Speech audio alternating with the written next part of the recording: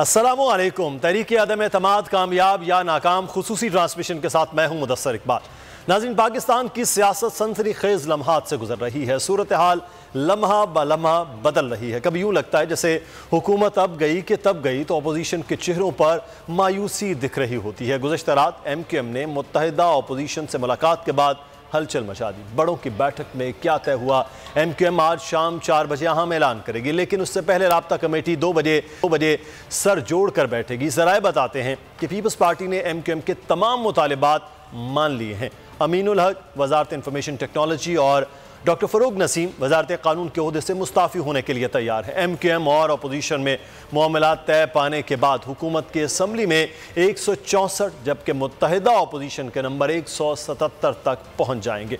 M Q M के opposition से इतिहाद के बाद मुनहरफ हुकूमती अरकान के बगैर ही मुतहदा अपोजीशन को कौमी असम्बली में अक्सरियत मिल जाएगी। अदम अतमाद से कबल ही हुकूमत को अपोजीशन का सरप्राइज़ मिल जाएगा। वज़ीर अजम ने फैसल बाउडा को एम क्यू एम को मनाने का टास्क सौंप दिया है। दूसरी जानब तरीन और अलीम खान ग्रुप भी एक्टिव हो गए हैं। तरीन ग्रुप की आज परवेज इलाही से मुलाकात मुतव है। वज़ीर अजम ने भी अहम इजलास तलब कर लिया है। वक्त कम है, मुकाबला सख्त है। कौन किस पर बाजी ले जाएगा, कुछ नहीं कहा जा सकता। कुछ ही देर पहले वज़ीर अजम इमरान खान ने एक तकरीब से खिताब करते हुए कहा कि तहरीक अदम अतमाद का मामला एक आइनी तरीका कार है, हुकूमतें आती हैं, जाती हैं पोलिटिकल एक मामला है। लेकिन पाकिस्तान में तहरीक अदम अतमाद के पीछे एक आलमी साजिश है और उन्होंने ये कहा कि आज वो ख़त सीनियर सहाफ़ियों को भी दिखाएँगे।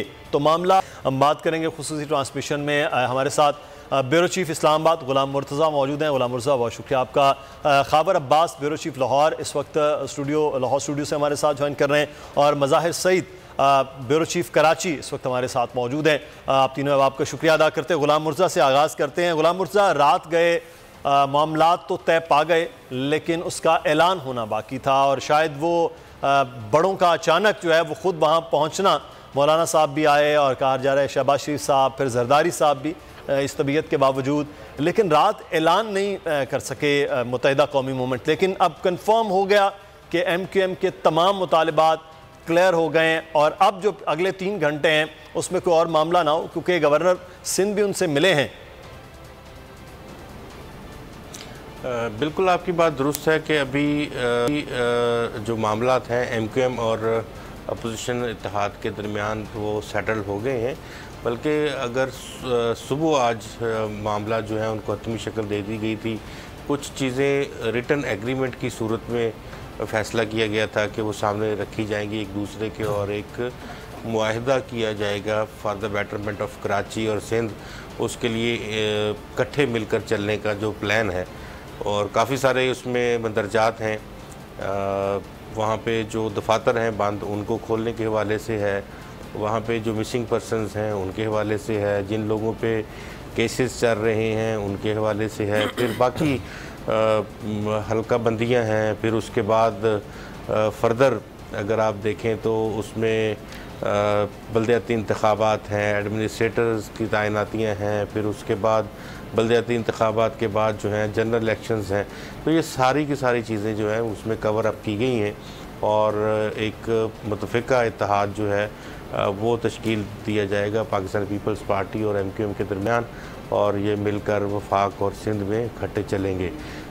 इसकी तस्दीक जो है वो आप जानते हैं कि इससे पहले सुबह सुबह बिलावल भुट्टो जरदारी साहब का भी ट्वीट आ गया था कुछ और रहनुमाओं ने भी ट्वीट किए। रात गए लेकिन साहब ने भी कर दिया कुछ जी हाँ। जी अभी से कुछ देर पहले जो बात हुई है हमारी वज़ी कानून फ़रोग नसीम से उनसे हमने पूछा था कि आप रिज़ाइन कर रहे हैं। तो उन्होंने कहा बिल्कुल मैं रिज़ाइन जो है वो मैं कर रहा हूँ। हम्म। और अभी जो हमारी प्रेस कॉन्फ्रेंस होगी उसमें हम काबीना से मुस्तफ़ी होने का भी ऐलान कर देंगे। उसके साथ साथ अमीन हक हैं उन वो भी मुस्तफ़ी हो रहे हैं।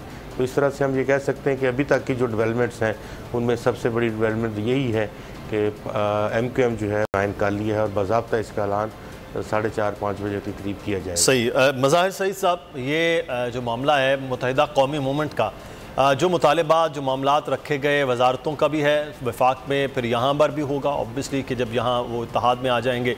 और जो एडमिनिस्ट्रेटर्स का, फिर अगले आने वाले बल्दियाती इलेक्शन का तो मैक्सिमम आप समझते हैं कि मुतहदा कौमी मूवमेंट ने गेन कर लिया है इस सारे अमल के अंदर। हाँ जी बिल्कुल देखें आसिफ अली जरदारी एक गेम चेंजर हैं और उन्होंने तकरीबन दो तीन दिन पहले बिल्कुल कॉन्फिडेंट होकर बता दिया था कि एम के एम से मुस्बत जवाब आएगा। तो एम के एम का जो फ़ायदा है वो भी इसी में ही है ये जो इनका रात का इजलास हुआ उसमें हमारे जो एम के एम के ज़राएँ वो यही कह रहे थे कि अगर अपोजिशन की तरफ़ जाएँगे तो उसमें हम यहाँ पर जो सिंध है बिलखसूस कराची जो है, उसकी जो है, वो आवाम की खिदमत कर सकेंगे। तो माहे में बहुत सारी बातें ऐसी हैं जो अगर शहबाज शरीफ साहब प्राइम मिनिस्टर बनते हैं तो वो भी उनसे भी कुछ माहे हैं, जो वो उसकी कमिटमेंट करेंगे, जिसमें एक माहा ये भी है कि वो गवर्नर जो है, वो सिंध का लगाएँगे। इसके अलावा मिसिंग पर्सन की बहुत जो बात कर रहे हैं एम के एम माहे में भी शामिल किया हुआ है, लेकिन मिसिंग पर्सन का ताल्लुक जो है, वो इस सतह पे नहीं है और उसको हल करने का मसला इतना आसान नहीं है लेकिन वो इस बात पे शोर है कि वही मसला हल करवा लेंगे। तीसरा मसला जो उनके ऑफ़िस का है कि ऑफ़िस खोल दिए जाएँ। देखिए एक नाइन ज़ीरो रह गया नाइन ज़ीरो खुल नहीं सकता और एक अलक्रम स्क्वायर पे एटी नाइन है वो भी नहीं खुल सकता। बाकी जितने भी एम के दफातर हैं वो अब दफातर रहे ही नहीं है। एम के एम के दफातर में इस्मार हो चुके हैं और हम सब इसकी रिपोर्टिंग भी कर चुके हैं। एक एक दफ्तर जो है वो एम के एम का टूट चुका है यहाँ पर मिसमार हो चुका है। तो अच्छा। दफातर वो हैं कौन से जिनको ये खुलवाने की मुतालबात मान रहे हैं? ऐसी तो कोई चीज़ है नहीं अभी। और वो दफातर भी जो थे वो तमाम तर ये दफातर मिसमार क्यों किए गए? ये कोई नाजायज़ तजावजात की सूरत जी बिल्कुल कुछ अच्छा। पार्क्स में बने हुए थे कुछ ग्राउंड में बने हुए थे कुछ जगहों पे ऐसी जगहों पे थे जो कि मतलब एस टी प्लाट्स थे तो उनको जो है वो मिसमार किया गया। अब अगर हम सूबे की तरफ़ आ जाएँ सूबा सिंध की तरफ़ तो बिल्कुल यहाँ पर बड़ी अच्छी अंडरस्टैंडिंग पीपल्स पार्टी से जो है वो मुतहदा गवर्नमेंट की जो है हो गई है। और इसमें कलीदी जो किरदार अदा किया है वो ख्वाजा इजारुल हसन जो है उन्होंने किया है। और इसमें ये है कि इनको सिंध में जो काबीना में कुछ मिनिस्ट्रीज भी जो हैं वो दी जाएँगी। इसके अलावा एडमिनिस्ट्रेटर हैदराबाद और मीरपुर ख़ास उसमें भी है। यहाँ पर अगर कराची की बात करें तो दो ज़िले जिसमें एक डिस्ट्रिक्ट कोरंगी है और एक डिस्ट्रिक्ट सेंट्रल है। यहाँ पर एडमिनिस्ट्रेटर और जो है वो डी जो है वो एम के एम जिनको मतलब राम रिकमेंड करेगी उनको यहाँ पर जो है वो तैनात किया जाएगा। इसके अलावा जो सबसे अहम मुतालबा जो था एम के एम का वो था 2021 का जो बल्दियाती एक्ट है, उसमें तरमीम। तो उसमें तरमीम से जो अग्रीमेंट हुआ तो उसमें एम बहुत ज़्यादा उसमें फ़ायदा है, उसमें क्योंकि एम के मुताबिक तमाम तर जो इख्तियार हैं, वो ग्रास रूट लेवल से होने चाहिए। तो उसमें वाटर बोर्ड आ जाएगा के आ जाएगा डी आ जाएँगी सारी के आ जाएगा। तो इन तब इन तमाम जो इदारे हैं उनको खुद मुख्तार कर दिया जाएगा जिसके बाद जो है वो ग्रास रूट लेवल से जो है अख्तियार मिल जाएँगे। तो उससे शहर का जो है वो फ़ायदा होगा। और हैरान कन बात यह है कि इस पर पाकिस्तान पीपल्स पार्टी जो है वो मुकम्मल मेरे लिए सबसे बड़ी हैरानी की बात यह है कि इन सारे मामला पर पाकिस्तान पीपल्स पार्टी अगर एम के एम की बात मान रही है तो फिर पाकिस्तान पीपल्स पार्टी के पास क्या बचेगा? क्योंकि पाकिस्तान पीपल्स पार्टी ने पिछले जो इलेक्शन थे कंटोनमेंट के और उससे पहले ज़मनी इलेक्शन उसने बड़ा गेन किया है आ, कराची में अपना वोट बैंक अगर ये तमाम तर चीज़ें वो कर रही हैं तो फिर पाकिस्तान पीपल्स पार्टी के पास खुद क्या बचेगा अगर ये इदारे दिए जाते? बहरहाल ये मज़ाहिर सईद साहब अगले आने वाले वक्त में ये इतना मामला सादा लग नहीं रहा जितना इस वक्त जो है वो दिखाई दे रहा है। बहरहाल पंजाब की बात कर लेते हैं। खावर अब्बास साहब ये परवेज़ इलाही साहब ने बहरहाल जो भी फैसला किया काफ लीग ने अब फैसला उनके लिए वो थोड़ा मुश्किल और भारी नहीं पड़ गया है। कि एक तरफ़ मुतहदा अपोजिशन है और दूसरी तरफ़ वो नाराज़ अरकान है। जो चीना ग्रुप है, जो तरीन साहब का ग्रुप है, जो अलीम खान साहब का ग्रुप है तो काफ लीग के लिए अब राहें मुश्किल हो गई हैं वजारत अला की।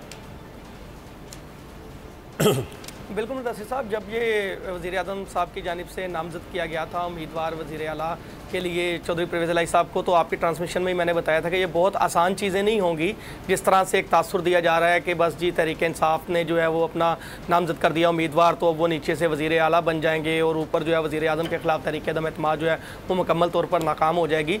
अभी वफाक से ज़्यादा इस वक्त उलझने दिखाई दे रही हैं, क्योंकि यहाँ पर जो फिगर्स हैं, उनमें भी जो यहाँ पर नंबर गेम है उसमें भी काफ़ी मुश्किल हैं।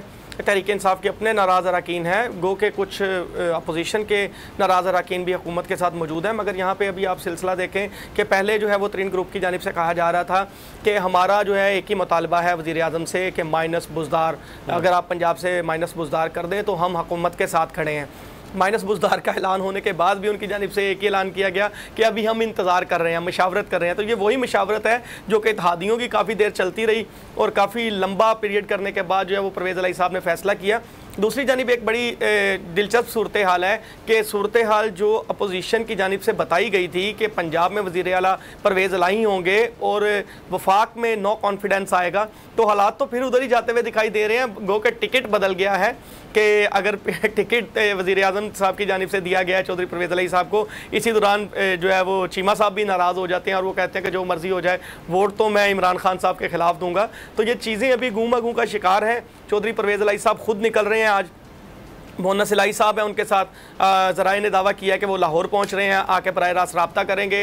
ये भी ज़राए कह रहे हैं कि शायद तरीन ग्रुप के साथ उनकी मुलाकात भी हो जाए, मगर अभी जो भी किसी के साथ इतिहाद बनाएगा, वो इस वक्त अपनी दुरुस्त कीमत को समझता है कि सियासी तौर पर इस वक्त उनकी क्या वक़्त है, क्या वैल्यू है, और उन्हें किन शराइ पर जो है वो मुआदा करना है। हलीम खान साहब के हवाले से ज़रा बता रहे हैं कि कुछ ही देर में वो कोई अहम ऐलान भी कर देंगे कि वो किधर जा रहे हैं। दूसरी जानब अब डिपेंड करता है कि मुस्लिम लीग नून जो है वो वज़ी अला का कैंडिडेट किसे देती है क्योंकि ज़्यादा अक्सरियत नशस्तें जो है सात पीपल्स पार्टी के पास हैं और एक आज़ाद हैं अवामी राय हक पार्टी के जो। जंग से मुंतखब हुए हैं। उसके बाद जो है वो दस नशस्तें मुस्लिम लीग काफ की थी। तो बड़ी सूरत हाल है इसमें ज़्यादा जो कंट्रोल है वो मुस्लिम लीग नून के हाथ में सूबे में भी दिखाई दे रहा है। उसके साथ आप देखें कि अगर परवेज़ अलाई साहब वज़ी अला के उम्मीदवार हैं तो उन्हें स्पीकरशिप छोड़नी पड़ेगी, क्योंकि अपनी वो काउंटिंग तो वो खुद करेंगे नहीं। पहले वज़ी अला का इस्तीफ़ा गवर्नर साहब को जाएगा, गवर्नर साहब इस्तीफ़ा मंजूर करेंगे।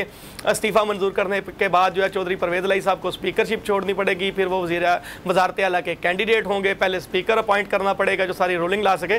तो ये एक बड़ा टेक्निकल सा और काफ़ी मुश्किल का शिकार सिस्टम दिखाई दे रहा है। आज देखें, परवेज़ अलाई साहब आते हैं लाहौर में, उनकी मुलाकातें होती हैं। तरीन ग्रुप क्या फ़ैसला करता है? गजनफर अब्बास शीना साहब क्या फ़ैसला करते हैं? क्योंकि जो गजनफर अब्बास शीना का ग्रुप था हम ख्याल ग्रुप उनकी जानब से कोई इख्तलाफात की बात सामने नहीं आई थी। उनके तरक्याती फ़ंड्स उनकी डिमांड्स के हवाले से ज़रूर वजी अजम को पैगाम पहुँचाया गया था मगर ऐसा नहीं था कि उन्होंने कहा था कि हम बुजदार साहब को वजी अला तस्लीम नहीं करते हैं तरीके साहब में नो कॉन्फिडेंस का साथ नहीं देंगे।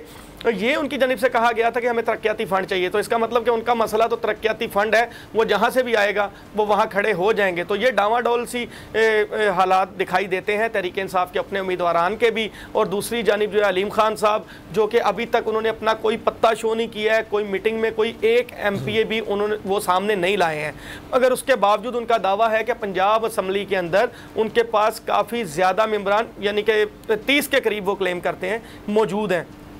तो इसका मतलब है कि जो आइंदा इंतबात होते हैं इस वजी वजारत आला के लिए और उसके अंदर खुफिया राय शुमारी होती है तो काफ़ी बड़ा धचका लग सकता है। और देखना यह है मैंने जो तर्जमान है पंजाब हुकूमत हसान खावर साहब उनसे भी ये सवाल किया था कि हसान साहब वफाक में तो आपके पास कबल अज वक्त कुछ लिस्टें आ गई थी कि फ़लाम इमरान ने इतने पैसे ले लिए इतने पैसे ले लिए क्या पंजाब में भी ऐसी कोई सूरत हाल है मौजूद है? और अगर मौजूद है तो क्या आप उनके खिलाफ भी कोई रेफरेंस दायर करने जा रहे हैं? क्योंकि ये ना हो कि अभी आपको पोजीशन अपनी मज़बूत नज़र आ रही है तो कल को डामाडोल हो तो आप बताएँ जी के अरकान को खरीद लिया गया तो अभी तक पंजाब हुकूमत की जानब से ऐसा कोई इल्ज़ाम तो आयद नहीं किया गया है कि आपकी तंजीम के अंदर आपकी जमात के अंदर ऐसे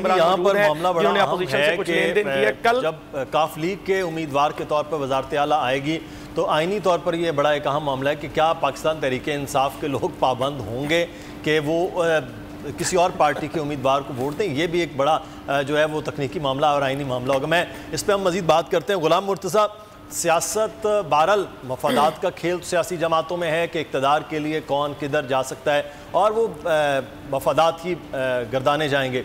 लेकिन मामला ये है कि आप नहीं समझते हुकूमत ने बहुत देर की है।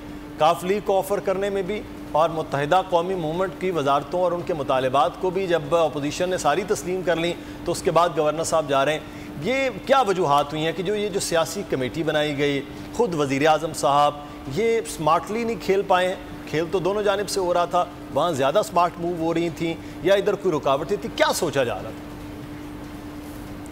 तो सर एक महीने पहले की बात है कि वज़ी अजम साहब को मशवरा मिला था। हमने इसी प्रोग्राम हमारे बोल टी वी पे प्रोग्राम में खबर ब्रेक की थी ये कि वज़ी अजम साहब से कहा गया है कि आप तमाम गबारे से हवा एक मूव करके निकाल सकते हैं और आपकी मूव ये होनी चाहिए कि आप चौधरी परवेज़ लाई को वज़ी अला नामजद कर दें।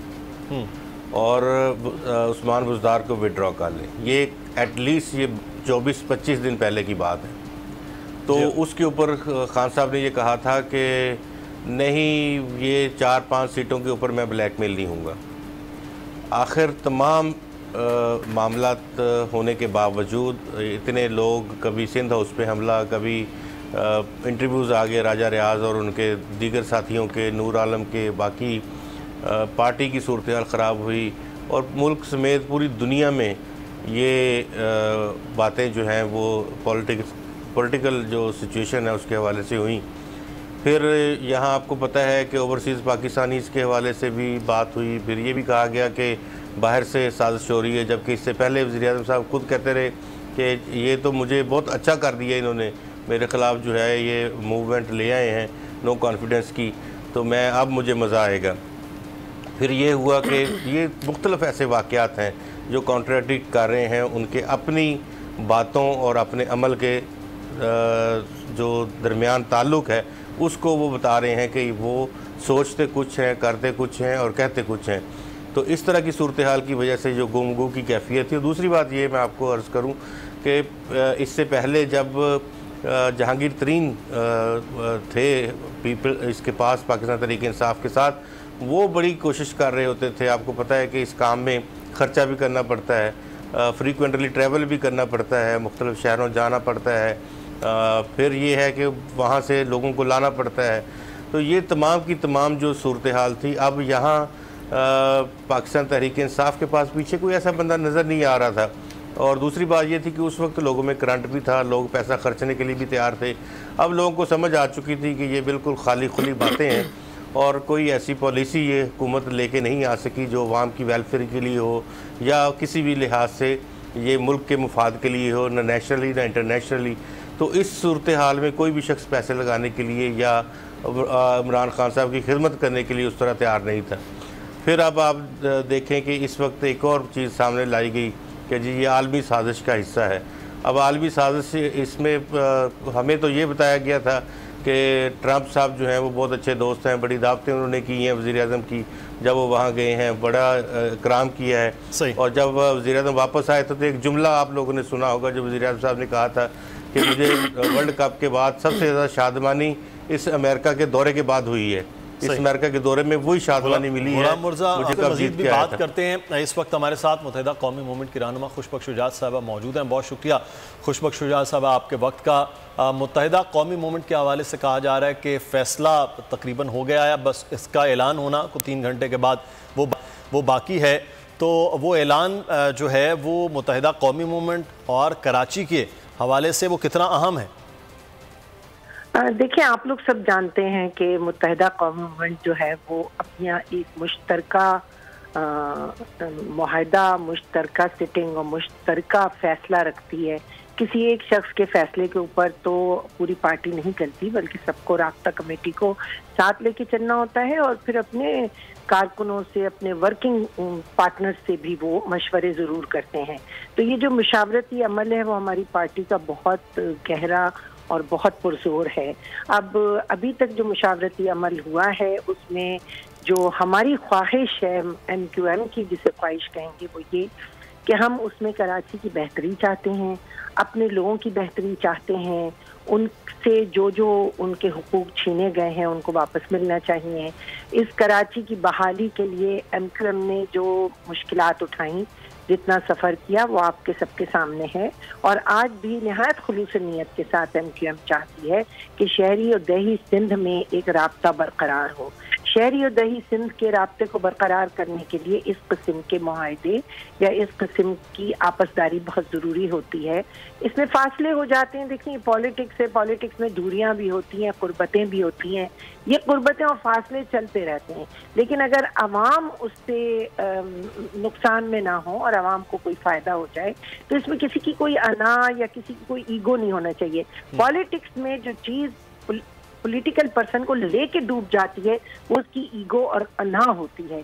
मैं ये नहीं कहती कि इंसान अपनी सेल्फ रिस्पेक्ट ना रखे। सेल्फ रिस्पेक्ट तो सबके आगे सबसे आगे होना चाहिए सबसे पहले होना चाहिए। लेकिन ईगो और अना जो है वो पॉलिटिक्स नहीं होती। अफाम तफहीम मशवरा मिलना एक दूसरे से रबता करना इसमें इंसान को लचक रखना पड़ती है और आपने हमेशा देखा है कि एम क्यू एम इसमें कभी भी पीछे नहीं हटी है। तो इस वक्त भी इस फैसले के लिए भी मुशावरत लेकिन आप तक पहुँच जाएगा कुछ देर में। सही। खुशबू शुजात साहब जो आप बात कर रही हैं वो अपनों के लिए शहर के लिए माजी में भी बहुत सी जमातों के साथ इतिहाद के साथ मामला हुए लेकिन फिर उस इतिहाद से निकले गए इसलिए कि जो मुतालबात नहीं माने गए मामला तय नहीं हुए। अब की बार मुतहदा अपोजिशन या ख़ास तौर पर पाकिस्तान पीपल्स पार्टी क्योंकि हुकूमत यहाँ पर है तो कितनी आप पर उम्मीद हैं कि वो भी बात मान लेंगे मामला तय हो जाएँगे, कल को फिर, को तीन साल, दो साल या साल के बाद ये शिकायत ना हो एम क्यू एम को कि हमारे फिर मामला वहीं के वहीं रहे और हम फिर धोखा खा गए। देखिए, हमने बहुत दफ़ा ये अमल दोहराया, बिल्कुल आप सही कहते हमने जब कभी भी किसी का साथ दिया, हमने डट के साथ दिया, हम साथ खड़े रहे आपको याद होगा कि अजफली जरदारी साहब नाइन ज़ीरो पर तशरीफ़ लाए थे। At that time I was um मैं वहाँ खड़ी थी, मुझे उसका सीन और वो समा नहीं भूलता जब वो वहाँ आए थे और उनको बहुत ज़ोर शोर के साथ वहाँ उनका इस्तकबाल किया गया था, वो चल के वहाँ तक आए। देखिए, उन्होंने अपना, अपनी ईगो नहीं रखी, वो वहाँ आए और उसके बाद फिर आपको पता है कि एम ने उनको नॉमिनेट किया, वो सदर पाकिस्तान बने। उसके बाद एम के साथ अगर उन रवाबित में कोई खलिश आ गई तो देखिए पॉलिटिक्स कोई छोटी चीज़ नहीं होती। ये शहर पाकिस्तान का सबसे बड़ा शहर है। इस शहर की जो अहम पार्टी है और जो सिंध की अहम पार्टी है, वो एम है नंबर दो, आप समझ लें, या सिंध के हिसाब से, देही इलाकों के हिसाब से, पीपल्स पार्टी को नंबर वन समझ लें। तो ये दो अगर अवामिल मिल जाते हैं और इनका आपस में कोई इतना बड़ा इख्तलाफ राय नहीं होता। और बाहिनी सलाह मशवरे के साथ बहुत से पानी पुलों से गुजर चुके हैं, बहुत सी पॉलिटिक्स में नशेबो फराज सब देख चुके हैं। अब हमें मेच्योर हो जाना चाहिए। हम कब तक इतनी मेच्योर पॉलिटिक्स करेंगे? हमें आवाम की सोचना चाहिए, लोगों की सोचना चाहिए, अपनी कॉन्स्टिट्यूंसी में कैसे मुँह दिखाएँगे? कैसे जाएँगे? कैसे लोगों का काम करेंगे और कैसे उनसे कहेंगे कि आपने हम पर एतमाद किया, आपने हमारी तरफ़ देखा और हमने आपसे मुँह मोड़ लिया? ये नहीं हो सकता। तो उम्मीद पेवस्ता रहे शजर से उम्मीदें बाहर रख और उम्मीद ना उम्मीदी तो कुफ्र है। तो हम यही उम्मीद रखते हैं कि अच्छा, सोच के साथ जी जी। हम जो भी फैसला करेंगे कोई जी। हतमी फैसला नहीं बता रही मैं कह रही हूँ जो भी हम जो भी फैसला करेंगे लेकिन ये पॉजिटिव सोच के साथ जी लेकिन ये तनकीद ये की जा रही है एमक्यूएम के ऊपर कि एमक्यूएम ने अपनी दोनों जानब कीमत लगाई जो विफाक है उसने वो वजारतें वो गवर्नरशिप नहीं दी मुतहदा अपोजिशन ने वादा कर लिया कि वो दे देंगे। तो जहाँ ज़्यादा भार लगा है पलड़े में उधर एम क्यू एम चली गई है। तो कहते अवामी ये मामला को नहीं देखा। इस वक्त जितना गेन कर सकते थे उस लिए एम क्यू एम गई है। इस तनकीद को कैसे देखती हैं? मुझे बड़ी हैरत है ये सुनकर कि ना ना कोई दूसरी पार्टी अपनी कीमत लगा रही है। इसका मतलब है पाकिस्तान में सब बड़े दूध के धुले हुए हैं। हम्म। और एक एम क्यू एम है जो अपनी देखिए जिसकी कीमत होती है वो अपनी कीमत लगाता है। जो बेकीमत होता है वो अपनी कीमत नहीं लगा सकता। इस वक्त जो एम की अहमियत है वो आपको पता है। और सबको मालूम है कि एम इस वक्त किस भारी दर्जे पर मुतक गेम चेंजर बनी। लेकिन जो आपने बात कही कि हम कीमत लगा रहे हैं तो आप ये बताइए दूसरी पार्टियों का अगर आप मवाजना करें कौन कहाँ क्या कीमत लगा रहे हैं क्या किसी को पता नहीं है? हम्म। तो जो पियो तो हलाल है और जो यहाँ पियो तो आराम है।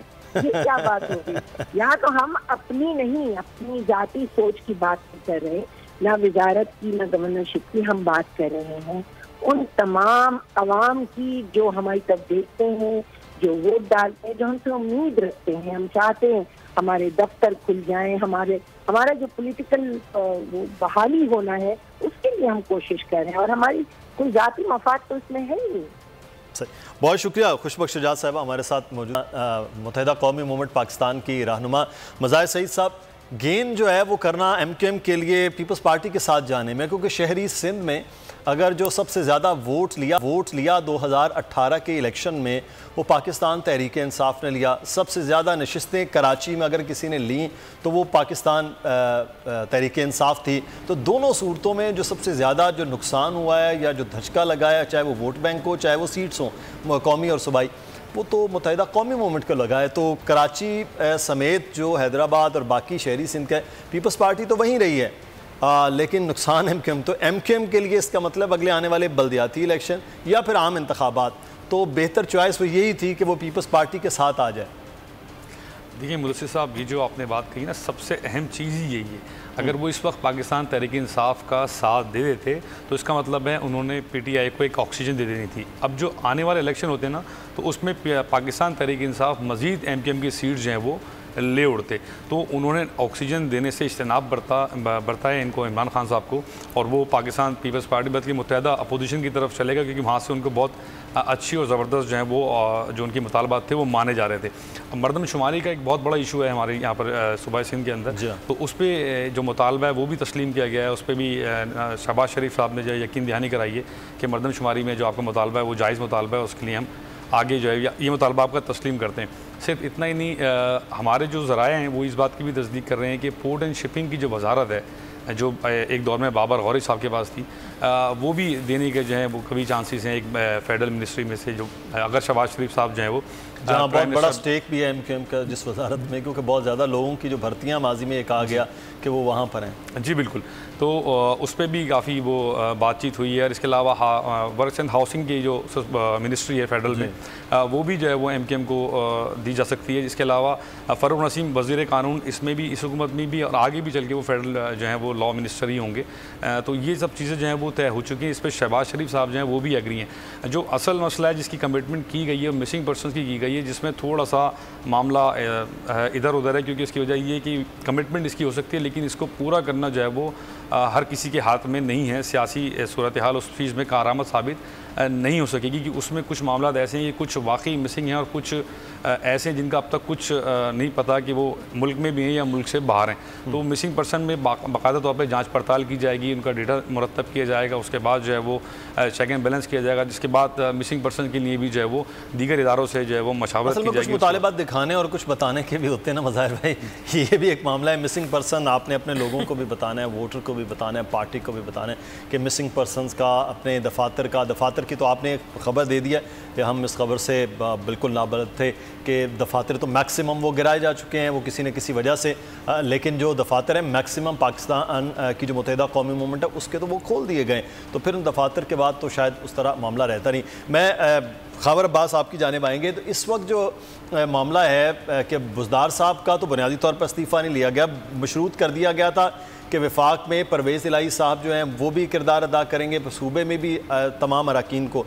जब विफाक में गेम ही सारी पलट गई है तो फिर अब पीटीआई और इमरान खान साहब, फिर उनका क्या स्टेक रह जाता है? वो परवेज़ इलाही साहब के लिए क्यों वोट करेंगे? ये एक सवाल इस वक्त उठ रहा है कि जब विफाक में ही इमरान खान साहब नहीं है तो सूबा भी फिर किसी और को देने से वो बैक, कोई मर्ज़ी आ जाए, कि जैसे मर्ज़ी आ जाए, वैसी सूरत हाल नहीं होगी। क्यों देंगे अब काफ लीग के लिए? जब मामला क्लियर ही नहीं है तो। मुदसर साहब, यही सवाल है जो इस वक्त चौधरी परवेज लाई साहब भी सोच रहे हैं और इमरान खान साहब भी सोच रहे हैं, जो आपने किया है कि इमरान खान साहब ये सोचते हैं कि अगर वफाक में नो कॉन्फिडेंस कामयाब हो जाएगी तो हम सुबह किसी को क्यों दे रहे हैं? और परवेज लाई साहब सोच रहे हैं कि अगर वफाक में खान साहब की हुकूमत नहीं रहेगी तो सूबे में मेरी हुकूमत किस तरह से बनेगी? गुमगू का शिकार है ये सारी सियासी सूरत अब आप देखें कि बड़ी तहरीक इंसाफ को इस वक्त जो सबसे बड़ा धचका लग रहा है, जब मुतहदा अपोजिशन में पीपल्स पार्टी ने सियासी जमहूरी जद्दोजहद की गुफ्तु की थी तो उस वक्त मुस्लिम लीग नून और जो है जे यू आई फे इस बात पर बजिद थे कि आप इस्तीफ़े दे दें। उस वक्त भी उन्हें यही चीज़ समझाई जा रही थी कि इस्तीफ़े देना इस चीज़ का हल नहीं है। कुछ ना कुछ हाथ में होगा तो हम उस पर बारगेन कर सकेंगे। इस वक्त पूरी सियासी सूरत हाल में आप देख हैं कि आपको सिंध हुकूमत का मरकज़ी किरदार दिखाई दे रहा है। क्योंकि अगर तहरीक इंसाफ किसी के साथ सूबा पंजाब में डील बनाना चाहती है तो वो इतनी मेजोरिटी में नहीं है कि वो किसी की इमदाद या इतिहाद के बगैर अपनी हुकूमत कायम कर सके और किसी को फैसिलिटेट कर सके। किसी इतिहादी को या किसी ऐसी जमात को जिसे वो नामजद कर रहे हैं। अब वो चौधरी परवेज अली साहब को नामजद करके भी इस वक्त परेशानी का शिकार है, क्योंकि उन्हें वो पूरी तरह से फैसिलिटेट नहीं कर सकते हैं। दूसरी जानब अगर आप वफाक की बात करें तो वफाक में भी तरीक इंसाफ की ये सूरत हाल है कि वो मुकम्मल तौर पर किसी को भी आउट ऑफ़ दी वे जाके कोई रिसोर्सिंग नहीं दे सकते हैं जिस तरह से इस वक्त पाकिस्तान अच्छा, करते हैं इस वक्त हमारे साथ। खबर हम बात करते हैं इस पर लेकिन इस वक्त हमारे साथ पाकिस्तान मुस्लिम नून के सीनियर रहनुमा सबक गवर्नर सिंध जुबैर उमर साहब मौजूद हैं। बहुत शुक्रिया। जुबैर साहब आपके वक्त का जुबैर साहब ये अब नंबर गेम तो क्लियरली हो गई और कराची में क्योंकि आप खुद गवर्नर सिंध रहे हैं और गवर्नर के मामला भी सुने हैं कुछ मुतालबात पे कुछ मामला हैं जो मुतहदा कौमी मूवमेंट के साथ है और शबाज शरीफ साहब के ही वो वादे भी हैं भी हैं और सारे मामला जो हैं वो क्लियर हो गए। तो अब नंबर गेम से मामला बहुत आगे ले गए हैं आप लोग? जी ज़ाहिर सी बात है तो ही वो, वो क्लियर था। और इसमें नंबर गेम में तो इस वक्त वो जो उनके अपने पीटीआई के मेंबरान हैं वो शामिल नहीं है। हम्म। तो इमरान खान को मेरे ख्याल है पहले दिन से समझ होनी चाहिए थी कि ये कितना कठिन मरहला होगा उनके लिए अबूर करना जब vote of no confidence file हो गया था। वो पहले चैलेंज कर रहे थे कि जी आए और ये हम देख लेंगे ये क्यों नहीं vote of no confidence file करते? ही हैज़ लॉस्ट तो पहले मॉरल रिस्पॉन्सिबिलिटी थी numbers itself he is heading a minority government अगर मिनोरिटी गवर्नमेंट में रह के और अपने फेलियर को दूसरे रीजन देना इंटरनेशनल कॉन्स्परेसी और ये सारी चीज़ें तो मेरा ख्याल है ये बड़ी ज़्यादा की बात है। एक स्पोर्ट्समैन रह चुके हैं। स्पोर्ट्समैन एक चीज़ सीखता है कि आप बहुत दफ़ा जीतते हैं और कई दफ़ा आप हारते भी हैं। और जब हारते हैं तो ग्रेफ शो करते आगे बढ़ के मुबारकबाद देते दूसरे को। आप जितने भी बेटर हों, जो भी आप समझे कि जी, मुझे मौका मिलना चाहिए था पाँच साल, वो आपकी अपनी जो इंटरनल डिबेट है और पार्टी रिव्यू करेगी कि क्या, कहाँ कहाँ गलतियाँ हुई थी और बहुत गलतियाँ हुई थी। तो वो आप रियलिटी को ही नहीं मान रहे थे इतने अरसे से कि भाई आपसे मीशत चल नहीं रही है। आप मान ही नहीं रहे थे। कभी कहते थे फैसलाबाद में जाके लोगों से पूछेंगे कितने कारोबार शुरू हो गया है। और पता नहीं कहाँ क्या क्या बातें करते थे। जुबैर साहब जुबैर साहब वज़ी अजम ने आज भी कुछ देर पहले वो ख़त की बात की वो कह रहे हैं आलमी साजिश है कुछ जाने और कुछ अनजाने में इस सारे अमल का हिस्सा हो रहे हैं। तो सर आप जाने में या अनजाने में इस अमल का हिस्सा हो रहे हैं? ना जाने में ना अनजाने में बिकॉज़ कोई है ही नहीं इंटरनेशनल कॉन्स्परेसी। अच्छा। मतलब ज़बरदस्ती एक इंटरनेशनल कॉन्स्परेसी बना दी भाई अगर इंटरनेशनल कॉन्स्परेसी पाकिस्तान के मफाद के खिलाफ कर रहा है अगर अगर। तो उसका मतलब ये है वो पाकिस्तान का दुश्मन है और वो चाहता है कि पाकिस्तान तरक्की ना करे। वो चाहता है कि पाकिस्तान के लोग फले फूले ना। यही होगा ना मकसद? सही। तो वो तो इमरान खान से ज़्यादा तबाही किसने में चाहिए? मतलब जिस के हुकूमत में गुर्बत बेरोजगारी और महँगाई अपने अरूज पर हो तो दुश्मन को क्या करना है आपसे? मतलब या कश्मीर चला गया थर्टी फाइव ए खत्म कर दिया थ्री सेवेंटी आर्टिकल उड़ा दिया इंडिया ने और हम अब देखते रह गए दो ढाई साल हो चुके हैं हाथ बाँध के खड़े हुए हैं ना हमें इंटरनेशनल सपोर्ट मिली। तो मतलब दुश्मन ने क्या करना है अभी आके तरक्की का पहिया रुका हुआ है जॉबलेसनेस है अनएम्प्लॉयमेंट है महँगाई महँगाई का तो नंबर खुद बताते हैं ना। सही। हम पीएमएलएन के मुकाबले में देख रहे हैं आज कहाँ है। हम्म। पाकिस्तान का तीसरा महँगा तरीन मुल्क है महँगाई की रफ्तार के हवाले से हाँ। तो अच्छा आप आपका सर ये सब्जेक्ट है इकोनॉमी का पूरा आप इन चीज़ों को माजी में भी देखते भी रहे हैं लेकिन मेरा सवाल सर यहाँ पर आपसे ये है कि ये सारा अमल है, जब इंटरनेशनल मार्केट और पूरी दुनिया में महँगाई का अमल है, क्या सर प्लान है? अगर तीन चार दिन बाद ये हुकूमत चली जाती है वज़ी अजम के तौर पर शहबाज शरीफ साहब आएँगे, क्या प्लान सोचा हुआ है सर कि ये सारी चीज़ें बदल सकें, कि महँगाई को कंट्रोल किया जा सके? जिस एम्प्लॉयमेंट की बात कर रहे हैं, वो मामला ख़त्म हो, क्या वो इतनी जल्दी मुमकिन है।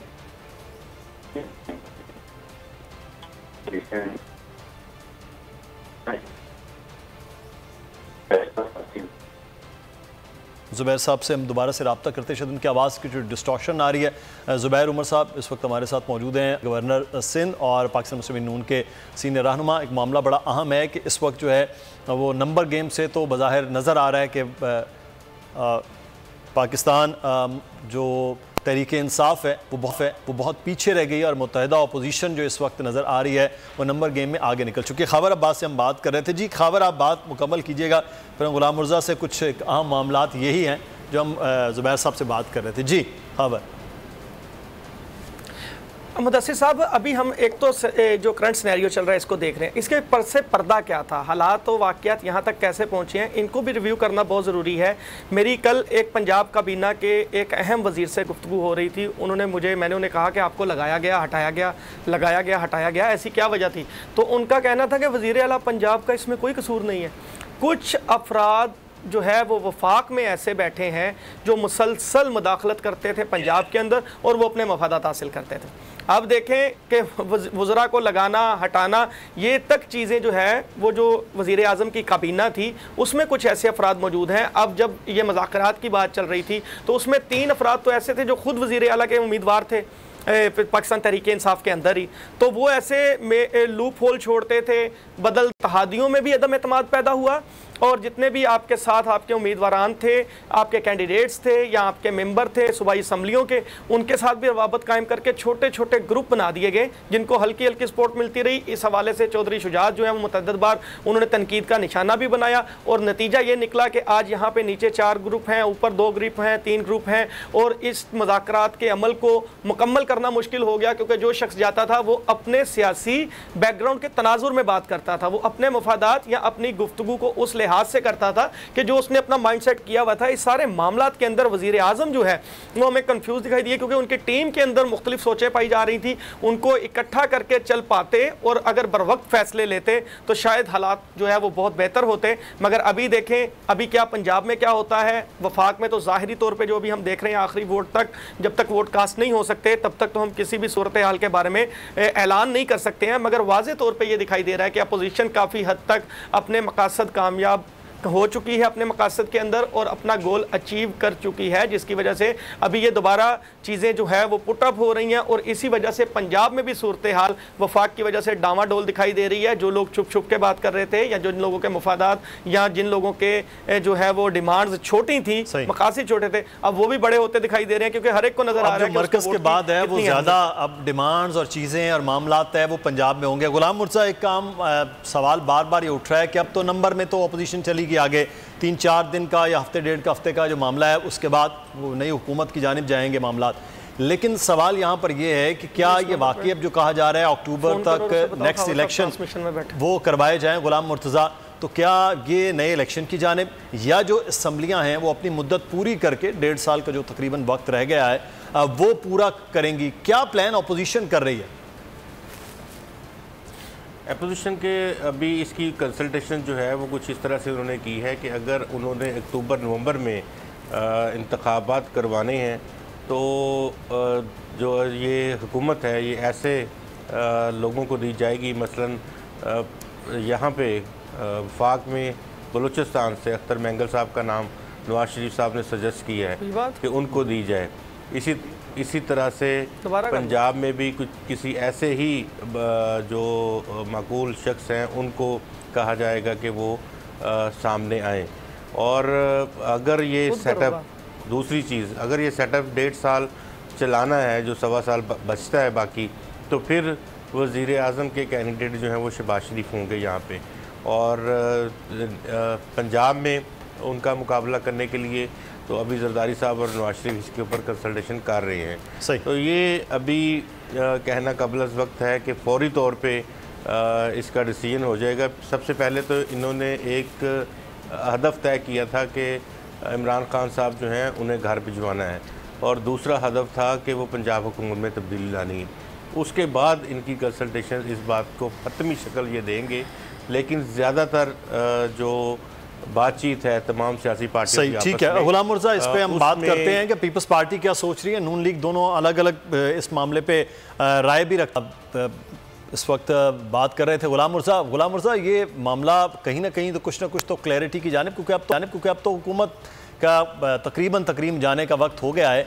कहीं कुछ चीज़ें तो तय हो रही होंगी क्योंकि सुनने में आया था, पीपल्स पार्टी ये चाहती है कि असम्बलियाँ फौरी तौर पर ख़त्म ना हों, यानी कि अगले इलेक्शन की जानब ना जाए। नून लीग के लिए ये ज़्यादा साजगार है कि फौरी इलेक्शन की जानब जाया जाए। तो कुछ ना कुछ मामला तो बातचीत तो हो रही होगी ना? जी, बिल्कुल बातचीत हुई है, लेकिन ये गुज्त दस रोज़ से हुकूमत की तश्कील के ऊपर बातचीत नहीं हुई, बल्कि हुकूमत गिराने के हवाले से जोड़ तौर और सियासी हलचल जो है, वो हो रही है। जरदारी साहब से जो कंसल्टेशन हुई पाकिस्तान मुस्लिम नवाज़ की उसमें ये डिसाइड किया गया था। मियाँ नवाज़ शरीफ ने उनसे कहा जरदारी साहब से कि ये भी हो सकता है कि हम कौमी असम्बली जो है उसको तहलील करके उसका इलेक्शन करवा दें दोबारा और सूबाई असम्बलियाँ जो हैं इसी तरह अपनी मुद्दत पूरी करें।